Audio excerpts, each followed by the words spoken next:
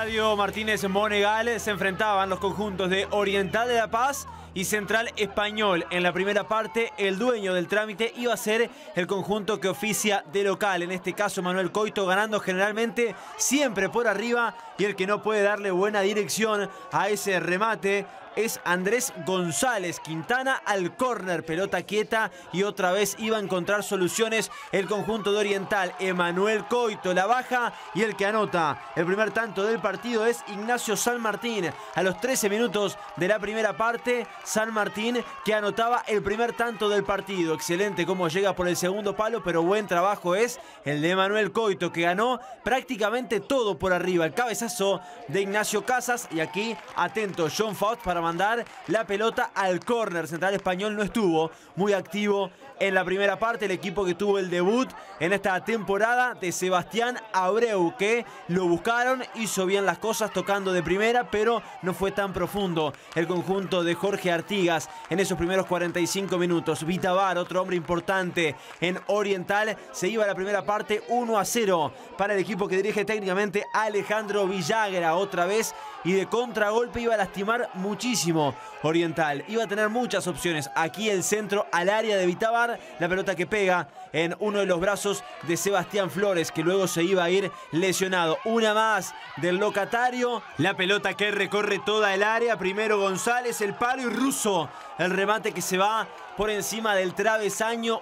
Buenas opciones para Oriental en ese complemento también. Acá tenemos una más. Quintana que no logra contener. Flores que intenta sacar. Y ahí ven cómo cae el número 5 del conjunto palermitano que iba a derivar en el final del partido para él. Luego se iba a retirar en ambulancia, que demoró aproximadamente 30 minutos en llegar para poder llevarse al jugador lesionado. Oriental que iba a seguir intentando por el sector izquierdo. Aquí una infracción del número 13 de Sebastián Abreu que iba a ser amonestado. El palermitano que no encontraba buenas fusiones, pero que iba a llegar al empate. Que surge desde el lateral de Dorrego con las manos, el cabezazo al segundo palo y quien llega en esa instancia es justamente Joaquín Martínez, quien de cabeza fue a buscar el objetivo, el número 2 y colocaba el 1 a 1 al minuto 43. El juego estuvo parado durante varios minutos, por eso el juez del partido dio 8 de adición y en el quinto de adición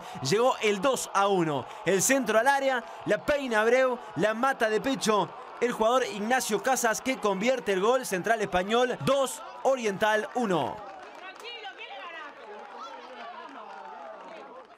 Tuviste el aspecto particular y especial que debutó Sebastián Abreu. Tiene mucho que ver incluso en las incidencias peligrosas. ¿Cómo lo viste? ¿Cuánto te aporta dentro y fuera de la cancha? Sí, importantísimo, loco, la verdad. Este, eh, se, merece, se merecía el equipo en sí por la llegada de él, por, porque era su debut. No podíamos fallarle tampoco. Eh, él este, está muy, muy, muy motivado, nos ayuda mucho con los jóvenes, con los más grandes. Entonces, bueno, y hoy se vio lo que, lo que puede dar en la cancha si el equipo este, em, formamos una, estructura, una estrategia para que él eh, pueda sentirse bien y ser, ser muy útil como fue hoy. Creo que le vamos a sacar mucho jugo.